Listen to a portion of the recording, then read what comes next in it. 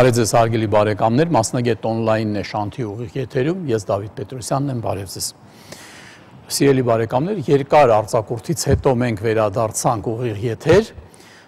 Այսօրվանից կունենանք թարմ հաղորդումներ, կաշխատենք ամեն ինչ անենք, որ իրազեկությունը բոլոր մեր բնակչության, ովքեր որ Շանթի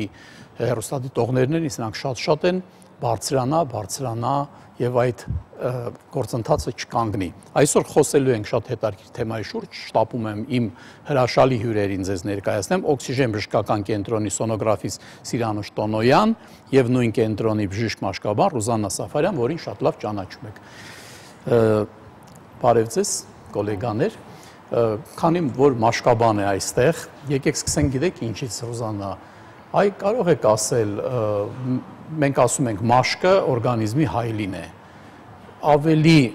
տենց համոզիչ ձևով մեզ կարող եք դա դրա մասին ասել։ Ինչի ինչին է հայլին է օրինակ։ Այսինքն ինչ։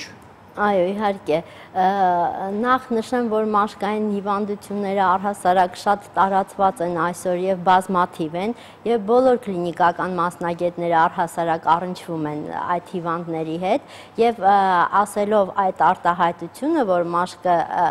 օրգանիզմի առողջության գրավականն է նաև յուրաքանչյուր մասնագետ, թե թերապևտ, թե նեղ մասնագետ պետք է իմանա այն բոլոր առանձնահատկությունները մաշկի հետ կապված, որը որ կհուշի նեղ մասնագետին բոլոր այն խնդիրների մասին առաջնահերթ որ կարող են առաջանալ ներքին օրգաններում։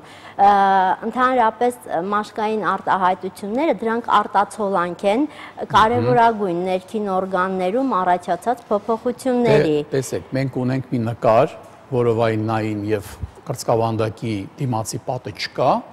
եւ մենք կարող ենք այսպես ներկայացնում ենք,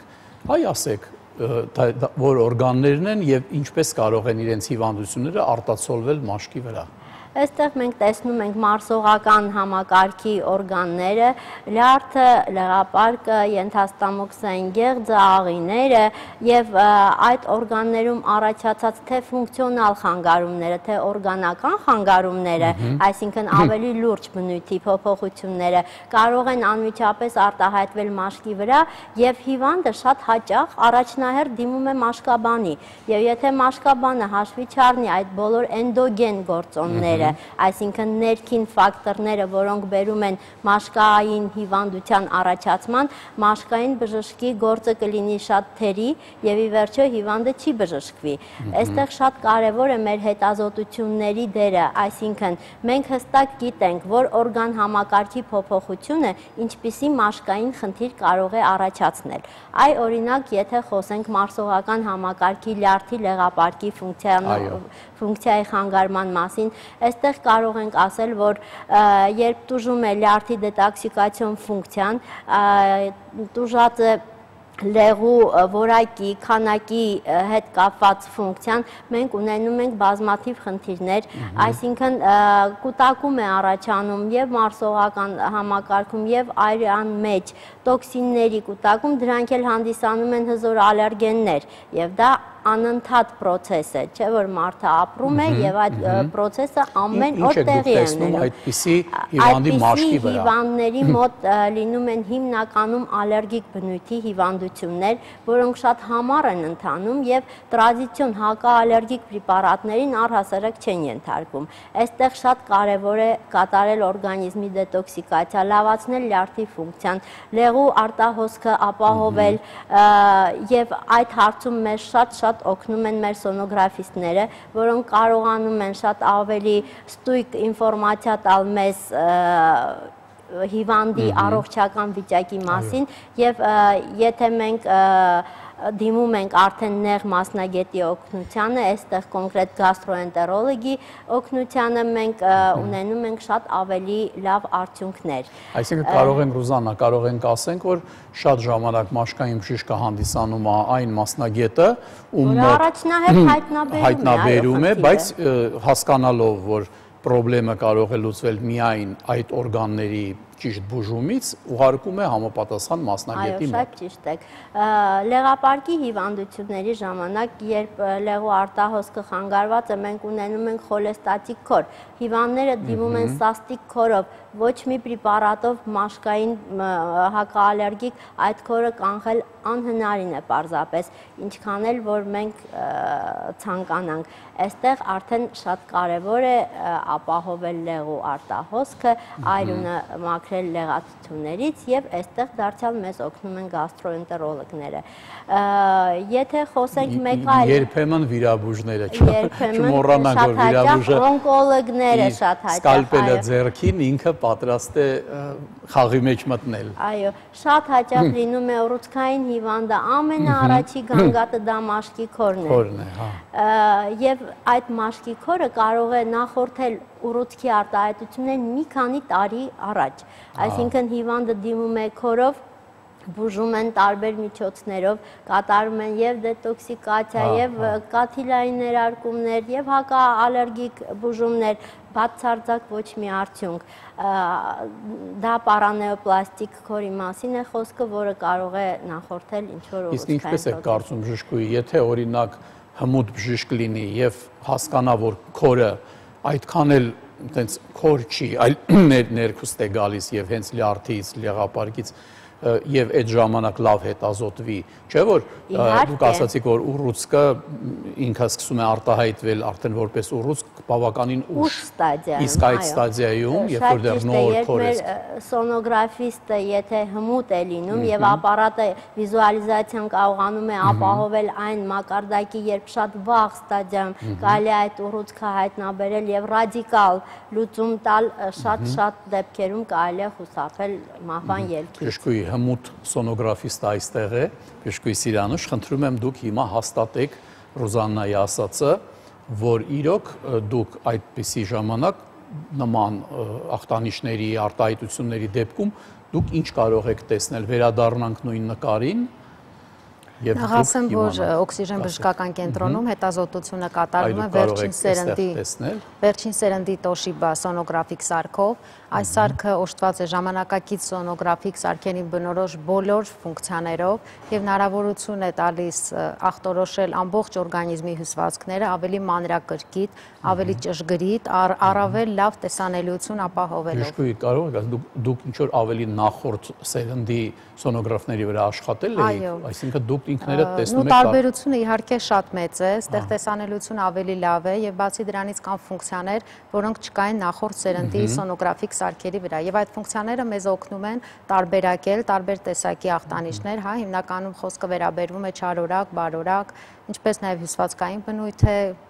եւ այլն, շատ է տարբեր։ Մենք գիտենք, որ ոչ բոլոր որովայնի եւ կրծքավանդակի օրգանները կարելի է հետազոտել, չէ՞, սոնոգրաֆի կարող եք ասել այս ներկայացրած։ Նու սովորաբար այսպես է, հա, հետազոտում ենք պարենխիմատոզ օրգանները, բոլոր այն օրգանները, որոնք չեն պարունակում մոտ։ Հետազոտում ենք լյարդը, սոնոգրաֆի գեզրակայության մեջ նշում ենք դիրքը, չափերը, պարենխիման, օջախային ծավալային փոփոխություններ կան թե չկան, նշում ենք պորտալ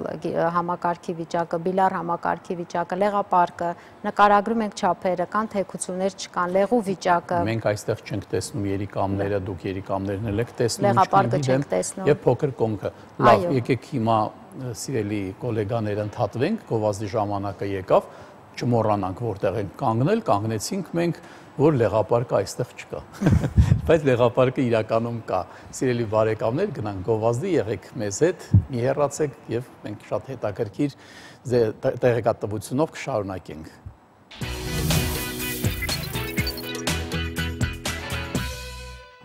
Շարունակում ենք մասնագետ on-line-ը, տաղավարում են օքսիժեն բժշկական կենտրոնի սոնոգրաֆի Սիրանուշ Տոնոյանը եւ նույն կենտրոնի բժիշկ մաշկաբան Ռուզանա Սաֆարյանը։ Մենք խոսում ենք, թե իրոք մաշկը հանդիսանում է օրգանիզմի հայլին, ունենք հերախոսազանգ սիրելի գոլեգաներ, լսում ենք։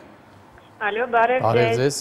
Բարև ձեզ։ Ես հատուղում եմ բժշկուհուն։ Այո։ Արավոտյան բերանի խորոչում տհաճ համ եմ զգում։ Ես ունեմ աջ կողմում թավեր Որովանի խորոչի սոնոգրաֆիա եմ անցել, աշխարհը չի հայտնաբերվել։ Ինչ խորհուրդ կտաք, ինչ հետազոտություն անցնել ձեր կենտրոնում։ Շնորհակալություն, հարցը ձեզ, Սիրանուշ, որովհետև ես կարծում եմ Մաշկաբանը դժվար պետք է հարցնել Բերանի ուրեմն դառնության մասին, կարող եք ասել դուք ինչ կանեիք, եթե այդպիսի ձեզ դիմեր պասիենտ։ Այս գանգատները շատ ավելի բնորոշ են լեղապարկի դիսկինետիկ process-ներին, այսինքն մենք ուսումնասիրում ենք այս հիվանդներին դատարկ եւ լիքը լեղապարկով, տալիս ենք լեղամուղ նախաճար, սկզբից ուսումնասիրում ենք, այսինքն հնարավոր է, որ հիվանդը չունենա լեղու խտության փոփոխություն, պատերի փոփոխություն, չունենա քարեր, բայց ունենա կապած լեղապարկի կծկողականության հետ խնդիրներ եւ այս գանգատները շատ բնորոշ են։ Տալիս ենք լեղամուղ նախաճար, ստուգում ենք սկզբնական ծավալը, լեղամուղ նախաճաշից հետո նորից գնահատում ենք ծավալը եւ եթե կա կծկողական խնդիրների հետ կապված խնդիրներ, ապա մենք այն հայտնաբերում ենք։ Այսինքն արագ է կծկում լեղապարկը, համապատասխանում է նորմային, գիպոկինետիկ, գիպերկինետիկ տեսակն է։ Ինձ ասացին, որ զանգերը շատ-շատ են, մենք հիմա մի զանգել կընդունենք, խնդրենք հետո որ մի փոքր դադար տան, որ կարողանամ շարունակեմ իմ հարցերը ձեզ։ Լսում ենք։ Ալո, բարև ձեզ։ Բարև ձեզ ողջունում եմ ձեր հերոստանկերությունը, ձեր հաղորդումը, որը շատ լավն է, նաև ձեր մասնագետներին։ Հարցս ուզում եմ ուղղել Մաշկաբանի։ Այո։ Ճիշտ ասած, ինձ չի վերաբերվում, սկեսրոջս համար եմ զանգահարել, ուրեմն իր մաշկի վրա հիմնականում վզի հատվածին չեմ կարող ասել դա խալ է թե ժողովրդական լեզվով ասում եմ ոնց որ թե ծին ինքը խալի գույնի է դուրս եկած։ Ոնց որ թե ինչ։ Խալի գույնի է ինքը։ Հա, հա։ Ահա։ Դուրս եկած, ասենց ոնց որ ուզենաս փոքես կփոքվի, այդտեղ երկած։ Հետո ժամանակի ընթացքում ինքը ամբողջ մինչև կրծքավանդակը տարածվեց։ Մանր, մանր, նույնիսկ երեք մեկը փոքվեց։ Մենք անդադ որոշում ենք դիմենք մաշկաբանին, բայց դեռ չենք դիմել ու հիմա մեզ շատ հետաքրքիր է, դա ինչ կարող է լինի կոնզիլոմաների նման բաներ են, հա։ Կարծում եմ կոնզիլոմա չէ, այստեղ պապիլոմատոս, այո, խնդրի մասին է խոսքը, դրանք մաշկի պապիլոմաներ են, որոնք առաջանում են որպես օրգանիզմում երբեմն տարիքային փոփոխություններ որոշակի հասակում, նաև գենետիկորեն պայմանավորված ֆակտոր։ Եվ մեր կենտրոնում այո, մոտեցում ունենք, ինչպես գիտեք, կրիոթերապիայի մասին է խոսքը, այստեղ հեղուկ ազոտով, այո, այրում ենք այդ բոլոր էլեմենտները, հատկապես այն էլեմենտները, որոնք գտնվում են շփման տեղերում կարող են տրավմատիզացիայի ենթարկվել, արյունահոսել կամ բորբոքվել։ Դա ուրիշ վտանգ կարող է բերել, եթե քրոնիկական ձևով դրա։ Եթե հաստատվի այն դիագնոզը, որը ես ենթադրեցի, ոչ, դրանք իրենցից վտանգ չեն ներկայացնում, պարզապես բորբոքման հետևանքով կարող են պիոդերմիկ օջախներ զարգանալ ընդամենը, որոնք էլի բուժելի են, բայց Այսինքն դա այն դեպքը չի, որ նախաուռուցքային, չէ՞։ Ոչ, դրանք չեն համարվում նախաուռուցքային էլեմենտներ։ Կարող են դիմել մեր կենտրոն, մենք կարող ենք առաջարկել։ Այո, Մաշկաբանը պետք է ասի, եկեք տեսնեմ։ Եկեք տեսնենք, դիագնոզը հաստատենք եւ առաջարկենք մեր բուժման մեթոդը։ Եղավ, Բժշկի Սիրանուշ, ես կուզենայի մի երկու բառ ասեինք Վահանաձև գեղձի մասին, որովհետեւ սոնոգրաֆիան երբ որ սկսեց ավելի ավելի այսպես դառնալ շատ կարևոր հետազոտման միջոց, Վահանաձև գեղձը ոնց որ ընկավ հետազոտության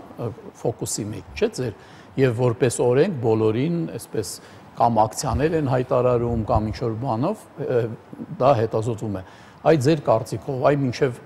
երևի շատ ինչ որ ժամանակ առաջ ընդհանրապես չէր հետազոտվում, մարդը կարող ա ուներ կանգատներ չուներ, հիմա գալիս են եւ դուք հետազոտում եք ձեր սարքը թույլ տալիս է, որ դուք հայտնաբերեք ինչ-որ փոփոխություններ։ Նախ ասեմ, ելնելով նրանից, որ մեր հողում ջրում կա յոդի դեֆիցիտ, դրա հետևանքով մեր հիվանդները, գրեթե հիվանդների 80%-ը, որոնք ներկայացնում են գանգատներ, միշտ ունենում են վահանաձև գեղձի հետ կապված խնդիրներ։ Ընդ որում այս հիվանդները նրանք տեղյակ չեն, որ հենց խնդիրը վահանաձև գեղձում է։ Նրանք դիմում են տարբեր մասնագետների, կախված նրանից, որ վահանաձև գեղձի հետ կապված հիվանդությունները կարող են նրանք այդ ախտանիշները շատ բազմազան անեն, հա։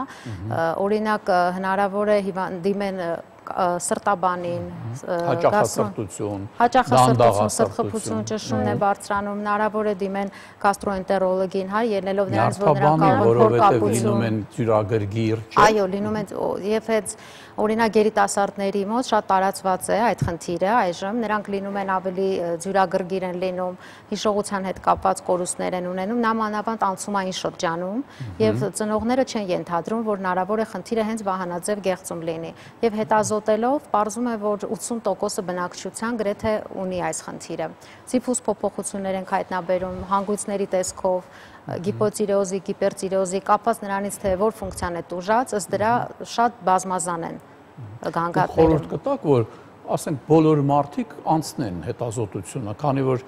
պարզվում է, որ համարյա դուք ասում եք 80%-ի մոտ ինչ որ բան նկատվում է, դա նշանակում է, որ մարդիկ թող չսպասեն մինչև ինչ որ սկսվի երևույթներ, իրանք ված զգան իրենց եւ այլ Ինչ դժվար է մի հատ անցնեն հետազոտություն Վահանաձև գեղձի իրենց ստուգեն, չէ՞։ Պրոֆիլակտիկ, այո, անհրաժեշտ է անցնել, քանի որ ելի եմ ասում, Վահանաձև գեղձի այդ գանգատները, նրանք հենց անպայման չի, որ տեղակայված լինեն կոկորթում, ինչ որ խեղտոցի զգացումով եւ այլն, դրանք շատ բազմապիսի են եւ կապված են ամբողջ օրգանիզմի ֆունկցիաների հետ, որովհետեւ Վահանաձև գեղձի հորմոնները կարգավորում են ճարպերի, սպիտակուցերի, աչխաջրերի փոխանակությունը, սիրտանոթային, սրտային նույնիսկ դաշտանային ցիկլի խանգարումները կարող են կապվածներ վանաձև գեղձի թեր ֆունկցիայի հետ պոտենցիայի խանգարումները շատ բազմազան են այս գանգատները եւ այս հիվանդները ընկնում են մոլորության մեջ Եվ նույնիսկ այս գանգատներից 1-2-ը ունենալով արդեն կարելի է մտածել, որ այդ հիվանդի մոտ հնարավոր է լինի վահանաձև գեղձի հետ կապված խնդիրներ։ Եվ եւ ինչն է այստեղ կարևորը որ երբ որ սկսեն բուժել վանաձև գեղձը, գրագետ մոտեցում ցուցաբերեն, դա ամեն ինչը կանցնի։ Այո։ Նախակլինիկական փուլում երբ որ հայտնաբերենք այս խնդիրները, իսկ մեր սարքը դրա հնարավորությունը ունի։ Տեսանելիությունը շատ լավն է եւ այս ժամանակ բուժումը կլինի ավելի կարճատև եւ քրոնիկ ընթացք չի ստանա։ Շատ լավ, եկեք մի զանգ ընդունենք, Ռոզանա, հետո ես ձեզ հարց ունեմ, չմոռանամ տան, լսում ենք ձեզ։ Ալո, բարև ձեզ։ Բարև ձեզ։ Ես այսպեսի հարց ունեմ, ուրեմն կես տարի առաջ ինձ մոտ հայտնաբերվեց բրոնխելաստմա եւ երկու տարի ես օգտագործել եմ հորմոնալ պրեպարատներ որի հետևանքով կարծում եմ դրա պատճառով է, որ դաշտանային ցիկլս անհետացել է եւ բուժման ընթացքը եւ դրա հետևանքով նաեւ ավելացել է քաշը։ Եվ ես կորցրել եմ հավատս բուժման հանդեպ, ուզում եմ իմանալ ինչ ախտորոշում անցկացնեմ, որպեսզի բուն պատճառը իմանամ հիվանդության։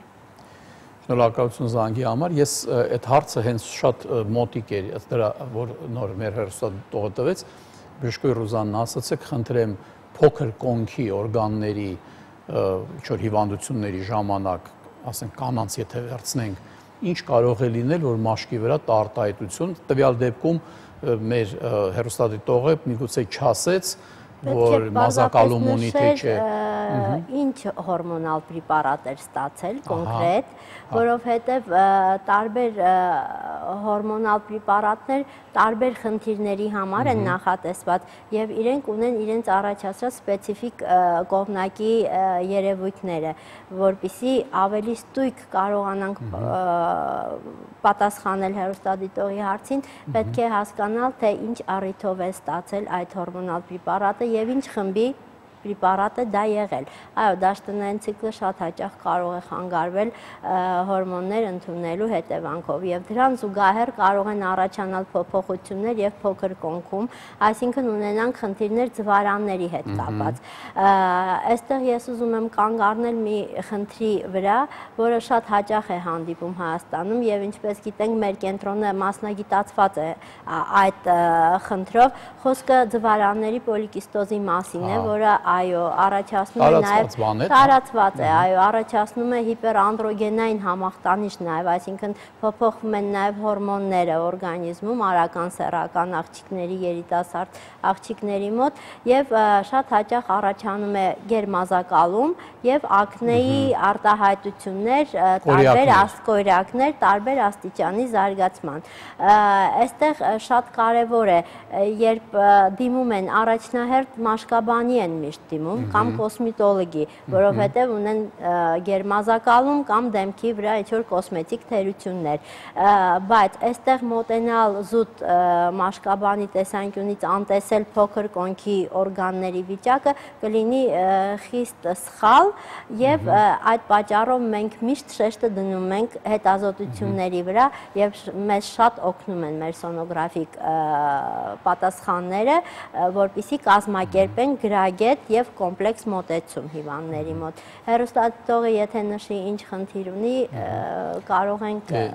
խորհուրդը տալ։ Մենք հիշեցնենք հերոստատիտողներին, որ բացի այս հեռախոսահամարից, որով զանգում եք հենց մեր տաղավար, մենք տալիս ենք նաեւ օքսիգեն բուժ կենտրոնի հեռախոսահամարը, որը դուք հետո արդեն կարող եք զանգահարել եւ ավելի մանրամասն ներկայացնել խնդիրը։ Գրվեն ձեզ մոտ, որովհետեւ ես օրինակ ինձ թվում է, որ եթե կենտրոնը ակտիվ աշխատող է, այնտեղ ուղղակի վեր կանալ գալը այդքան էլ ճիշտ չի, որովհետև կլինի հերթ եւ դու ստիպված կլինես կանգնել, սпасել, բժիշկը չի կարող հիվանդին արագ-արագ արագ, -արագ ու փորձանի ուղարկի, չէ՞, ընդհանրապես եթե Մեզ մոտ այդպես չի կատարվում առհասարակ, յուրաքանչյուր հիվանդ երբ դիմում է մեզ, անցնում է մանրակրկիտ խորհրդատվություն, տարբեր հարակից մասնագետների մոտ, եթե կարիքը զգում ենք, այդ պատճառով մենք շատ ավելի երկար ենք զբաղվում յուրաքանչյուր հիվանդով։ Դրա համար էլ այսքան զանգ ունենք, Բժիշկ Ռոզաննա, եկեք լսենք զանգը։ Լսում ենք ձեզ։ Ալո, բարև ձեզ։ Բարև ձեզ։ Ես հարց ունեմ բժշկին։ Ահա։ Բժշկյան, մի քանի օր, մի 3-4 օր ձախում այ կրկոս կրիստակը ցավեր ա լինում, ասենք, օրվա մեջ ասենք մեկ-երկու անգամ։ Լավ է, լսում թե չի, հա։ Հա, ես ինչ հետազոտություն պիտի անցնեմ ձեր կենտրոնում։ Դա առաջին հարցը։ Երկրորդն էլ կոկորտումը խեղտոց ա լինում, մռմռոց ա լինում, ոչ որ կարմրազություն լինի, հետազոտվել եմ ու ասել եմ, որ զոհ չունես։ Դա ինչից կարող է լինի, այս երկրորդն առաջինն է։ Խնդրում եմ դրա պատասխանը։ Բժիշկ Ռուզանա, ես ինչպես հասկացա, այդքան է մաշկաբանի հարցեր չէին, բայց ընդունենք, որ դուք բժիշկ եք, ձեզ մոտ եկել է պացիենտը եւ պարտադիր չի, որ դուք եթե տեսնում եք մաշկային չի, իրեն ասեք, իզուր ես մոտեցել, ես քեզ չեմ կարող օգնել։ Ուղղակի կողմնորոշող մի ինչ որ պատասխան տակ։ Բնականաբար, երբ հիվանդի գանգատները լսում են, յուրաքանչյուր մասնագետ պարտավոր է ճիշտ կողմնորոշվել եւ ուղղորդել հիվանդին համապատասխան մասնագետի մոտ։ Ես կարծում եմ այդ բորբոքային process կա կոկորտում, եթե այնտեղ կարմրություն է նկատվում։ Դա բորբոքման պրոցեսին բնորոշ վիճակ է, այո։ Եվ լորձաթաղանթի հետ կապված խնդիր է կարծում եմ, այնտեղ կարող է լինել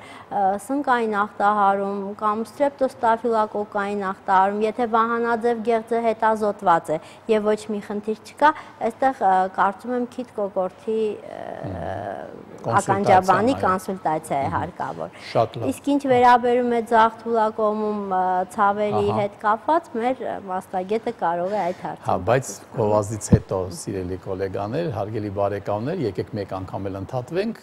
մենք մեր տեղերից չենք շարժվի, այստեղ կլինենք դուք էլ եղեք ձեր տեղերում։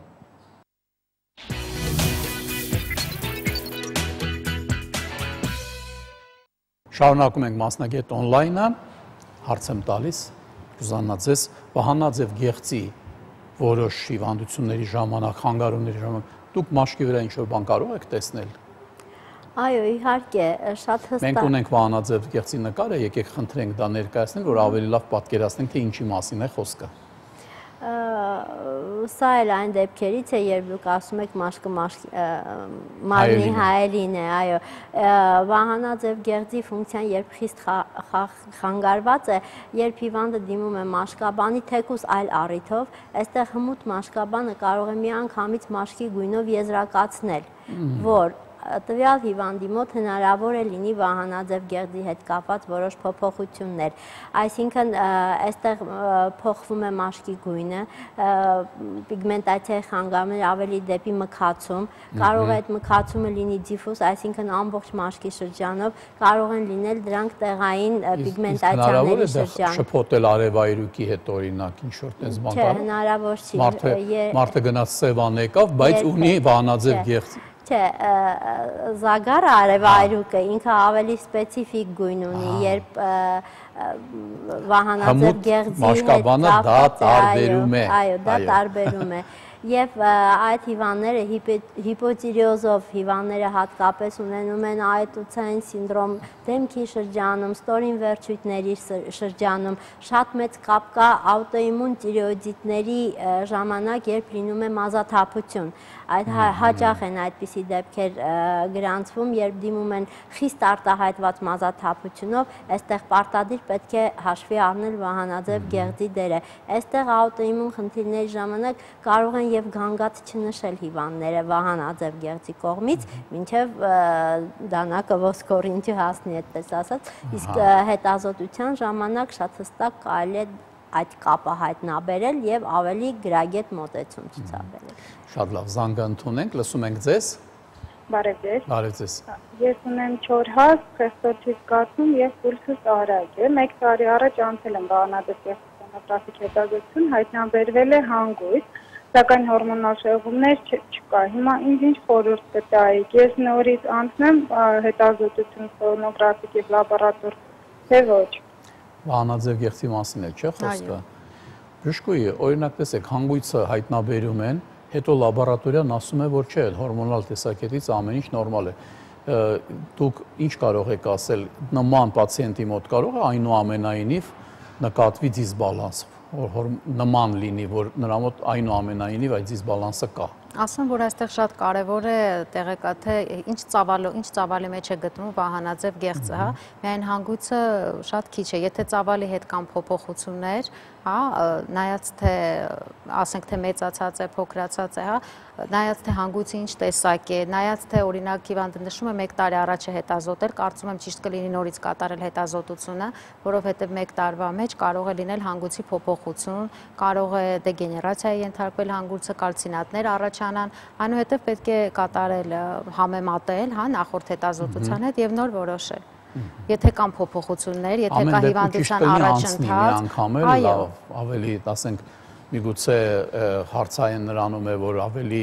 լավ սարքով անցնի, որ ավելի լավ նկատվի թե ինչ է, այո։ Մի զանգ ունենք, հետո հարց ունեմ ձեզ բժշկուի։ Լսում ենք ձեզ։ Բարև ձեզ։ Բարև ձեզ։ Ուրեմն իմ մոտ քթիս մոտ են ռունգերի փոսերում եւ դրա ներքևը մաշկը կարմրում է, թեպոտում։ Հիմնականում շոկ ժամանակ դա չի զգացում, ճնշվում է։ Մեկ էլ ծնոտից առաջնամասը ներքևի մասում կարմնում թեպոտում է։ Հա։ Երբ ուշացնում եմ ծափրվելը,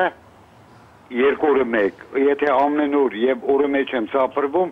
այդ թեպոտման բանը քիչ է լինում։ Ինչ պատճառով է, կարող եք ասել։ Այդ թեփոտելը մաշկի։ Թեփոտում եւ կարմրում է։ Կարմրում է, այո, այստեղ խոսքը մաշկաբորբի մասին է արդեն։ Դա կարող է լինել որպես սեբորիային մաշկաբորբ, դա կարող է լինել որպես ռոզացեա հիվանդություն եւ դա կարող է լինել ռոզացեա պլյուս դեմոդեկոզով բարթացած խնդիր։ Այստեղ մանրամասը հետազոտություն է պետք անցկացնել եւ հատկապես այս պարագայում շեշտը դնել նաև մարսողական համակարգի վրա, որովհետև շատ հաճախ երբ հիվանդները ունենում են ստամոքսի հետ անգամ կապված թթվայնության հետ կապված խնդիրներ,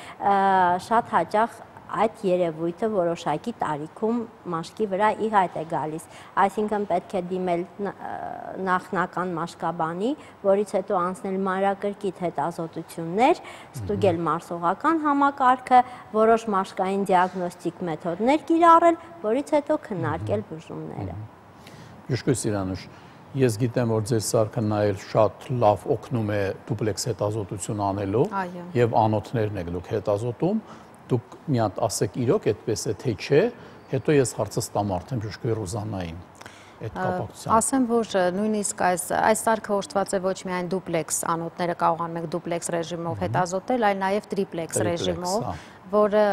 գեր ժամանակակից հնարավորություն է տալիս անոթները ուսումնասիրել առավել մանրակրկիտ, չափել անոթները, հայտնաբերել այն փոքր նույնիսկ ստենոզները, որ ասեն գունավոր դուպլեքս ռեժիմով ավելի դժվար էր հայտնաբերել եւ ասեն որոշ հիվանդների մոտ որոշ դեպքերում այն նույնիսկ կարող է նաեւ փոխարինել կատե անգիոգրաֆիկ հետազոտությանը, որովհետեւ նախ չի ճառագայթվում հիվանդը, կոնտրաստ նյութեր չենք ներարկում եւ ավելի հեշտ է ավելի արագ է կատարվում եւ բացի դրանից կարող ենք դինամիկ հետազոտություն անել, այսինքն բուժումից առաջ, բուժումից հետո եւ համեմատել։ Միշտ Ռուզանա, ես ձեզ հարց ունեմ, ընդունենք Զանգայի Ռուստատի տողից, ձեզ հարց կտամ, լսում ենք ձեզ։ Ալո։ Այո։ Բարև ձեզ։ Բարև ձեզ։ Ես բժշկուն մի հարց ունեմ։ Բժշկի ջան, ես ունեմ օջախային մազաթափություն։ Այո օջախային մազաթափություն դեմքի մազոտում եւ դաշտանի ոչ նորմալ որ տեսնում եմ էլի դաշտան ոչ նորմալ է հա այո երկու ամիսը մեկ ամիսը կես մեկ նոր ես դաշտան եմ տեսնում խնդրում եմ ինձ մի ասեք թե ում կարող եմ դիմել էլի այ բժշկուզանա տեսեք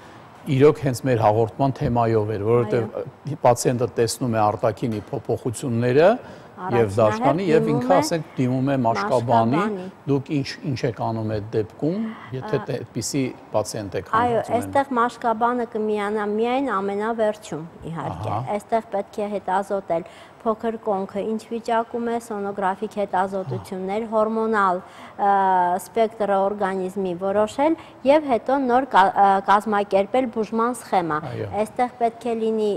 կոնսուլտացիա եւ գինեկոլոգի եւ էնդոկրինոլոգի եւ վերջում արդեն մաշկաբանը այդ կոսմետիկ արտահայտությունները կարող է շտկել միայն լուրջ խնդիրները վերացնելուց հետո։ Դուք պարտադիր կարող եք դիմել մեր կենտրոն, մենք ձեր բոլոր խնդիրները մանրակրկիտ կհետազոտենք եւ կարծում եմ կարող ենք ձեր խնդիրներին լուծում տալ։ Միշտ Սիրանուշ փոքր կոնքում, քանի որ խոսքը գնաց դրա մասին, ձեր սարքը ինչ է օգնում, որ դուք པարս տեսնեք եւ օգնեք բժշկին ախտորոշման մեջ։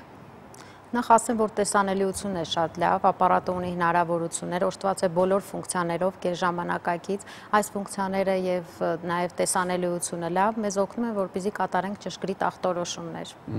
Այսինքն դաշտանային շրջանի տարբեր փուլերում մենք տեսնում ենք ձվարանների, ինչպես նաեւ արգանդում տեղի ունեցող այն ցիկլիկ փոփոխությունները եւ կատարում ենք նայած թե հիվանդը ինչ կանգատներով է։ Այստեղ այստեղ ուզում եմ նշել նաեւ այն, որ այս հիվանդին, հա, որ ուներ մազաթափություն, այստեղ կարելի է կոմպլեքս հետազոտություն անել, վահանաձև գեղձը հետազոտել, որովայնի որովայնի խորոչը, որտեղ հնարավոր է խնդիրը միայն անդրաժեշտ է որպեսզի կոմպլեքս հետազոտել, որտեղ եթե ունենք մազաթափություն, ունենք չոր մաշկ, պարտադիր չի, խնդիրը միայն կոսմետիկ լինի։ Հնարավոր է վահանաձև գեղձում լինի, որովայնի խորոչում, Ինչպես նաև այստեղ ուզում եմ նշել, որ փոքր կոնքի խնդիրները, այդ քրոնիկ անովուլյացիան էստրոգենների քանակը բարձր բերում են նաև հորմոնալ շեղումներ, որոնք արտահայտվություն են գտնում նաև կծքագեղձերում, ֆիբրոզ, կիստոզ, մաստոպաթիաների տեսքով, այնպես որ այս բոլոր ամբողջը կապված են մեկը մյուսի հետ։ Միշտ Ռուզանա, իսկ կարող եք ասել, ել ինչ արտահայտություններ մաշկային կարող են լինել, որոնք կհուշեն ներքին օրգանների որոշ մենք այստեղ անոթների հետ կապված խոսեցինք, այո, ես ուզում եմ նաև այդ խնդրին անդրադառնալ, որտեղ շատ հաճախ են լինում թե կանանց մոտ, թե տղամարդկանց ստորին վերջույթների շրջանում զանազան մաշկային խնդիրներ։ Եթե խոսքը գնում է վարիկոզային հիվանդության մասին, այստեղ մենք ունենք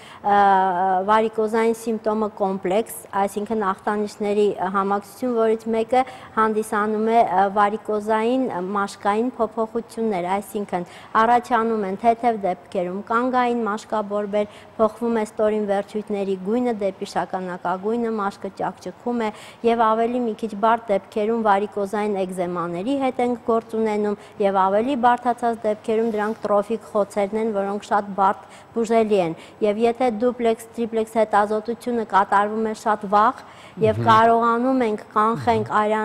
շրջանառության ավելի լուրջ խանգարումներ, երբեք չեն առաջանա նմանատիպ փոփոխություններ վերջույթների շրջանում, որովհետև շատ հաճախ հատկապես տղամարդկանց մոտ օբլիտերացնող էնդարտերիտի ժամանակ, երբ լինում է ծխող տղամարդկանց այո շրջանում, երբ շատ ուշացնում են հետազոտությունները եւ բուժումը շատ հաճախ համարտիկ զրկվում են իրենց վերջույթներից։ Ցավալի է փաստը, բայց եթե դիմեն ժամանակին հետազոտությունը կատարեն վաղ, շատ-շատ դեպքերում կարելի է այդ տրագիկ վիճակ, վիճակներից խուսափել հիմնականում անոթների հետ կապված սա Միշտուսյան շայ, տեսեք մի քանի անգամ հնչեց, որ պետք է վաղ, պետք է վաղ ախտորոշել եւ դա բոլորս էլ ընդունում ենք այդ գաղափարը, ձեր կարծիքով առանց ոչ մի գանգատ ունենալու, որ տարիքից ճիշտ է եւ որ օրգանները սկսել հետազոտել սոնոգրաֆիայի միջոցով։ Դուք ինչ խորհուրդ կտաք։ Ну, սկսենք Վահանաձև գեղցից, հա, ասեցի, որ ելնելով նրանից, որ մենք ունենք գեոդիզիֆիցից, շատ հաճախ հիվանդները նույնիսկ ունենալով տարբեր գանգատներ, չեն կողմնորոշվում, որ խնդիրը հենց Վահանաձև գեղցում է ասեմ, որ այդ անցումային շրջանում, հա, շատ էլի հաճախ հանդիպող խնդիր է, երբ որ երեխաները անհանգիստ են դառնում, այդ շրջանում կարելի է հետազոտել վահանաձև գեղձը, մենք կտեսնենք այնտեղ շատ տարածված դիֆուզ փոփոխություններ, Եվ մենք ունենք նաև կենտրոնում էնդոկրինոլոգ, այդպիսի խնդիրներ գտնելուց հետո մենք ուղղորդում ենք հիվանդներին էնդոկրինոլոգի մոտ եւ նրանք ստանում են ճիշտ ժամանակին իրենց հիվանդության բուժումը։ Օրինակ դուք ոնց եք կարծում փոքր կոնքը որ տարիքից ճիշտ կլինի արդեն սկսել նայել օրինակ անցումային հա, տարիքում, երբ որ աղջիկը նոր, ասենք, պետք է արդեն ունենա դաշտան կամ ունեցել է կամ անկանոն է, ճիշտ է մի հատ հետազոտել սոնոգրաֆիայի միջոցով տեսնել այնտեղ ինչ որ մի բան փոխված է, թե չէ, թե դա ինչ որ ուրիշ խնդիրներ են։ Ոչ, կարելի է հետազոտել եւ այդ ժամանակ էլ եմ ասում, եթե մենք խնդիրը դեռևս նախակլինիկական շրջանում հայտնաբերում ենք, ավելի հեշտ է այդ խնդիրը լուծվում, քան թե երբ որ ինքը արդեն անցնում է քրոնիկ փուլի եւ ավելի դժվար է ենթարկվում բուժման։ Այդ նույն հիվանդները գալիս են շատ հաճախ մեզ մոտ տարբեր տիպի կոսմետիկ նպատակով, հա, ասենք մազահեռացման եւ այլն եւ հայտնաբերում ենք այնպիսի խնդիրներ, որոնք նույնիսկ նրանք այդ մասին չգիտեին։ Այնպես որ ճիշտ է, վաղ հետազոտվելը, պրոֆիլակտիկ թեկուս հետազոտվելը շատ ուրիշ խնդիրներ կպարզվի։ Զանգընթուն ենք, լսում ենք ձեզ։ Բարև ձեզ։ Բարև ձեզ։ Հարցս բժշկունն եմ ուղում։ Ուրեմն աղջիկս 21 տարեկան է, կրծքագեղձի շրջանում շոշափում են գոյացություն։ Դաշտանային ցիկլը 10 օր առաջ որ սկսվում է ահավոր ցավեր ունենում։ Ինչ խորհուրդ կտաք որպես սոնոգրաֆիստ դուք ինչ կարող եք տեսնել կրծքագեղձը հետազոտելուց ինչ հնարավորություն է տալի հետազոտությունը ասեմ, որ ճիշտ կլինի կրծքագեղձի հետազոտությունը կատարել դաշտանային ցիկլի 6-ից 10-րդ օրը։ Նու այս դեպքում մենք հնարավոր է հիվանդի մոտ լինել դիֆուզ ֆիբրոզ, կիստոզ, մաստոպաթիա, տարբեր տիպի ֆիբրոադենոմաների տեսքով, առանձին կիստաների տեսքով եւ ել եմ ասում, ինչքան խնդիրը շուտ ենք հայտնաբերում, այնքան այն ավելի հեշտ է լուծվում։ Շատ պրոֆիլակտիկ նպատակներով երբեմն գալիս են ստուգում են եւ պատահաբար հայտնաբերում ենք այնպիսի խնդիրներ, որ հիվանդը նույնիսկ գանգ գնահատներ չի ունեցել։ Տվյալ դեպքում ես օրինակ խորհուրդ կտայի, որ հատուկ մամոգրաֆիայի գնար այս պացիենտը, այս հերոստատիկողին։ 21 տարեկան մամոգրաֆիայի գնալը այնքան էլ ճիշտ չի, որովհետև հա ինչի որտեղ գեղցային հյուսվածքը ավելի է տարիքում ճիշտ է հետազոտել սոնոգրաֆիկ, իսկ ճարպային հյուսվածքը ավելի մեծ տարիքում հետազոտում է մամոգրաֆիկ։ Ամեն դեպքում անցնի մի հատ լավ գրագետ սոնոգրաֆիա անցնի, որ պարզվի թե այդ ինչ իրանք շոշափում են իրենից ինչ են ներկայացնում, ճիշտ է։ Բժշկ Ռուզանա, իսկ մաշկաբանի մոտ կա տենց հասկացողություն պրոֆիլակտիկ զննում։ Օրինակ, թե պետք է տեսնել մի բան մաշկի վրա, ինչ որ մի բան արդեն գոյացություն լինի, ցան լինի, չգիտեմ ինչ, նոր գնալ օրինակ ձեզ մոտ իմաստ ունի պրոֆիլակտիկ գալ եթե աննշան թեկուս փոփոխություն մարդը իր մաշկի վրա նկատում է, այսինքն մաշկը որակապես եթե փոխում է, պարտադիր չէ այնտեղ հիվանդագին ինչ որ էլեմենտներ զարգանան, փոխվում է մաշկի գույնը, մաշկը ավելի չոր բնույթ է ստանում, տեղ-տեղ ճակճկում է, կանանց մոտ հաճախ կրունկների ճաքեր են լինում, որը էլի վահանաձև գեղձի հետ կապված եւ շատ համառ են ընթանում։ Եթե նմանատիպ ինչ որ գանգատներ, այո, իհարկե կարելի է ավելի վաղ դիմել մաշկաբանի եւ ելի ինչ որ լուրջ խնդիր կանխել այդ իմաստով։ Բժշկուրզանա, մի հարցել ձեզ տամ, օքսիգեն կենտրոնում ինչ մաշկային հիվանդություններ դուք կարող եք բուժել, այսինքն ոչ թե որ ասենք վերցնենք բոլոր կամ ինչ այդ ձեր կենտրոնում ինչ սարքեր կան, ինչ հնարավորություններ կան, որ դուք հաստատ կարող եք ասել, Այս դեպքում մենք կանենք, են կանենք, են կանենք։ Դե մենք արդեն շատ խոսել ենք մեր հիմնական կոնտինգենտի մասին, դրանք տարիքային խնդիրներով, ակնեով, դեմոդեկոզով, մազակալումով հիվանդներն են, մեր փորձը շատ մեծ է այդ ոլորտում։ Զբաղվում ենք շատ ալերգիկ բնույթի հիվանդություններով, նեյրոդերմիտ, էկզեմա, պսորիազ, մազաթափությունով կարող են դիմել մեր կենտրոն եւ ուզում եմ նշել նշել մեր կենտրոնի առանձնահատկությունը։ Մենք մշակած ունենք մի մեթոդ, որը ներառում է իր մեջ ֆիզիոթերապևտիկ եւ դեղորայքային բուժում, այսինքն այն բոլոր ներքին դիսֆունկցիաները, որի մասին խոսեցինք, թեկուզ դրանք լինեն ոչ օրգանական, ֆունկցիոնալ փոփոխություններ, մարսողության ֆերմենտատիվ անբավարարություն, տոքսինների ավելի թույլ հեռացում օրգանիզմից, մենք միացնում ենք մեր ֆիզիոթերապևտիկ սարքավորումը, Edline ապարատը, որը օգնում է կլինիցիստին ստանալ օրգանիզմում ավելի այնպիսի վիճակ որի պարագայում դեղորայքը շատ ավելի լավ կարող է չէ որը մենք տեսնում ենք միայն ձեզ մոտ։ Մենք դա կիրառում ենք բազմաթիվ մաշկային խնդիրների բուժման կոմպլեքսում ընդգրկում ենք եւ արդյունքները շատ գոհացնող են։ Դե զանգ ընդունենք, լսում ենք։ Ալո։ զանգը կորավ։ Ես ուզում եմ ավելացնել նաև այն, որ այս ֆիզիոթերապևտիկ մեթոդները օգնում են ազատվել օրգանիզմում, օրինակ եթե երիկամներում կան մանր քարեր, դրան գալիս են այդ թափոններից օրգանիզմը ազատվում է։ Նա միջև բջջային մակարդակ կարողանում է մաքրել օրգանիզմը։ Բժշկ Սիրանուշ, կարող եք ասել բացի այդ օրգանները, որոնց մասին մենք շեշտադրում արեցինք, վահանաձև գեղձներ, փոքր կոնքներ, լյարդներ, ել ինչն է, ինչ հարցերում կարող եք օգտագործել դուպլեքսը, ձեր սոնոգրաֆը, ինչի։ Օրինակ երիկամների արդյունք ինչ կարող եք դուք տեսնել։ Ну, ուսումնասիրում ենք երիկամների դիրքը, սկզբից կարևոր է, որովհետև կան տարբեր տիպի դիստոպիաներ, հայտնաբերում ենք կորտիկոմեդուլար կոնտրաստի, տեսնում ենք հա չափերը, երիկամային քարերը, ինչ չափի են, կիստաներ ենք հայտնաբերում, տարբեր տիպի գոյացություններ։ Հետո կատարում ենք նաև գունավոր դոպլեր հետազոտություն են կատարում, արունահոսքն ենք որոշում եւ դինամիկ հետազոտություն։ Էլի։ Շատ լավ, սանգ ընդունենք, լսում ենք ձեզ։ Ալո, բարև ձեզ։ Բարև ձեզ։ Ես հարց ունեմ բժիշկ Ռուզանա Սաֆարյանին։ Այո։ Աղջիկս 17 տարեկան է, գլխի մաշկի խնդիրներ ունի, էլի չորուկի նման քորա գալի, շատ ուժեղ։ Եթե շատ ակորում ինքը վերքի նման բացում է, էլի։ Օգտագործել են դիպրոքսալիկ մազը։ Այո։ Ասենք հաճախակի է էլի լինում միշտ որ չեն քսում, հենց քսում ենք ինքը փափկում է։ Եթե չեն քսում, արդեն ինքը սպիտակ, sense որ կաշվի նման բանա բռնում, թեփի նման։ Դա ծոծրակային հատվածում է դիտվում։ Ահա, ծոծրակից մի քիչ վեր է։ Այո։ Դեպի մեկ-մեկ էլ ականջի կողմի։ Այո, ճիշտ է այստեղ հստակ խոսքը գնում է նեյրոդերմիտ հիվանդության մասին, դա էլ այն հիվանդությունն է, որը որ իհարկե ունի ժառանգական նախատրամադրվածություն պարտադիր, բայց այստեղ շատ հաճախ պետք է հետազոտել մարսողական մակարդակը նույնպես, որովհետև հայտնի է, որ նեյրոդերմիտի եւ ատոպիկ մաշկաբորբի, որոնք շատ մոտ են իրենք բնույթով, այստեղ լինում է մարսողության համակարգում ֆերմենտների անբավարար բավարարություն, աղիներում լինում են տարբեր տիպի խնդիրներ, փորլուծություն, փորկապություն եւ այստեղ բուժումը հավասարազոր պետք է տանել եւ մաշկի ուղությամբ եւ կարգավորել մարսողությունը։ Կարող է հիվանդի մոտ անգամ ոչ մի գանգատ չլինի մարսողական համակարգի կողմից, բայց բժիշկը պետք է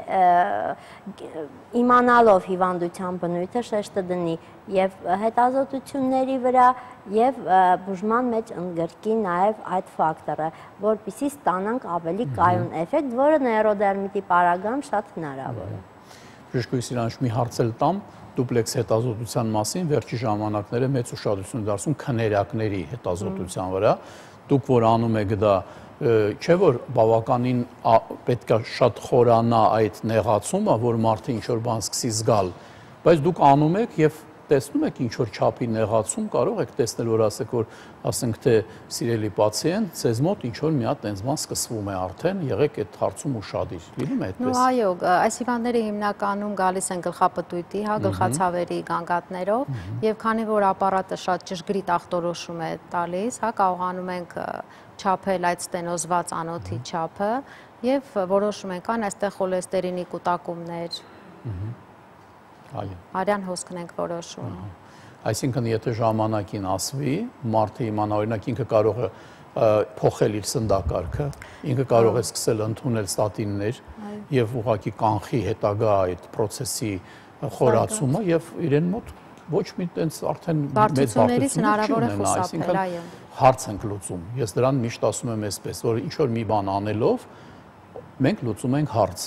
Այն ինչ որ կարող է լիներ, այդ մարդու մոտ չի լինում ու ինքը շարունակում է ապրել լիարժեք կյանքով։ Շնորհակալություն, մեր ժամանակը ավարտվում է ես շատ ուրախ եմ օքսիգեն կենտրոնը մեզ ուրախացնում է նրանով որ այդպիսի լավ մասնագետներ միշտ գալիս եք բացատրում եք